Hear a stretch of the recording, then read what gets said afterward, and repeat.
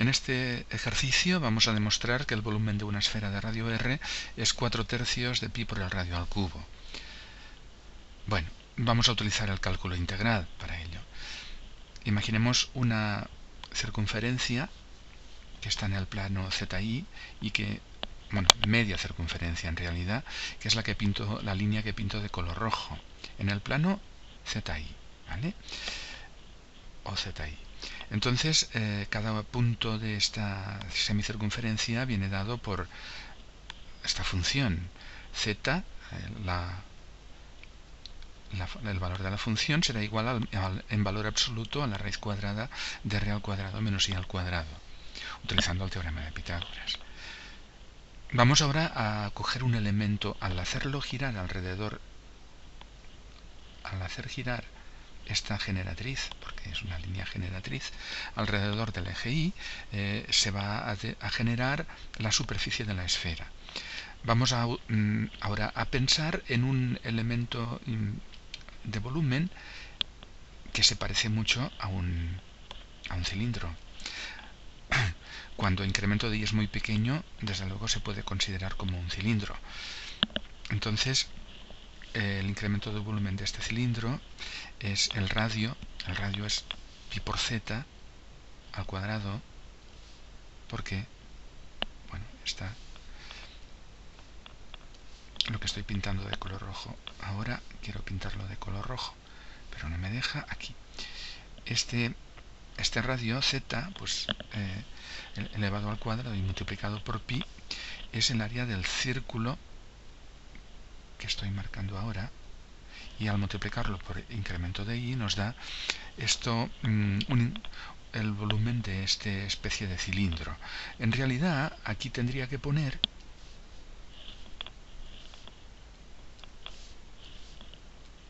aproximadamente igual, porque fijémonos que el borde no es recto, sino es que es curvilíneo. Bueno, pero no va a importar por lo que vamos a decir a continuación.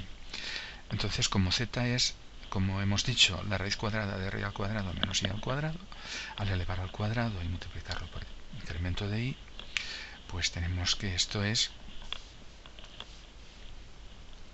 podemos quitar el cuadrado con la raíz, y aquí poner el paréntesis por incremento de i. La suma de todos estos elementos de volumen, tan pequeños como queramos, es eh, pi por el radio al cuadrado menos i al cuadrado por el incremento de i. Pero cuando incremento de i es muy, muy, muy pequeño, podemos considerar esto como una cantidad infinitesimal. Vamos a pasar a cantidades infinitesimales. Y entonces podemos hablar de un, elemento mm, diferencial de volumen, que es igual a pi por el radio al cuadrado menos i al cuadrado diferencial de i.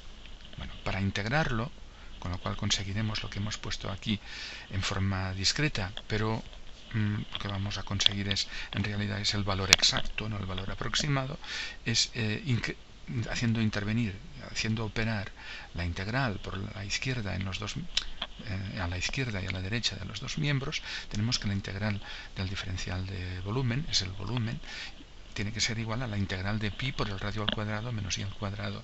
Diferencial de i eh, cuando integramos de menos r a r, ¿por qué de menos r a r?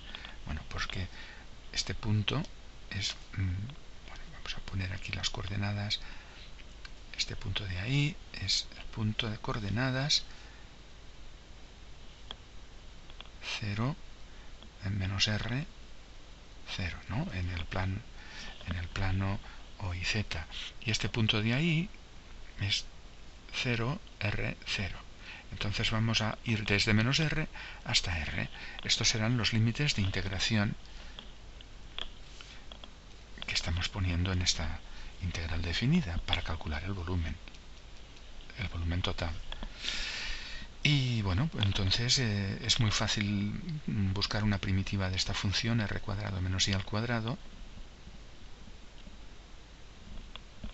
Es r al cuadrado por i menos un tercio de i al cubo y aplicando la regla de Barrow, aquí tenemos los detalles, más detalles, nos da pi por 2, 1 menos un tercio por r al cubo, pero 1 menos un tercio son 2 tercios, y 2 pi por 2 tercios son 4 tercios de pi.